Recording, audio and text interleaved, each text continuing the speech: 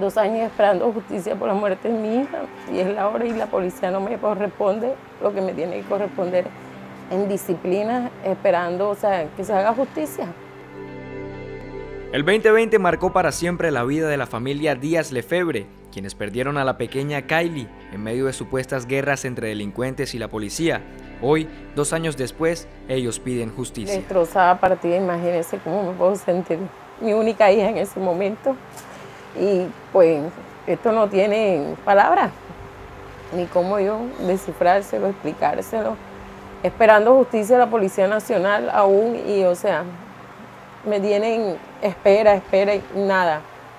Quiero una respuesta de ellos, de la Policía Metropolitana de Barranquilla, que me, o sea, me expliquen cómo va el proceso de mi hija, este, policía, qué es la vida de él, no sé, no sabemos, o sea, ¿qué, explicación nos da la Policía Nacional? Ninguna. Siempre vamos a disciplina, evaden, este, el abogado va también, nada, ya han cambiado tres veces a los directores de disciplina, o sea, y nada, el proceso no se me adelanta. Entonces, aquí estamos ventilando es un problema de homicidio sobre una menor de edad que le quitaron la vida de una forma tan miserable, porque el patrullero que fue formado en una escuela,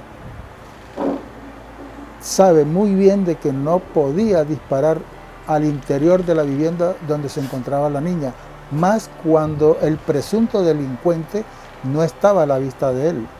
Entonces aquí, ¿qué pasa? Hay una irresponsabilidad del patrullero. O sea, nunca he recibido, o sea, de parte de las autoridades, ni, ni, o sea, ni un pésame, nada, nada. Ellos nunca se acercaron a mí, ni, ni, o sea, no se reportaron en nada.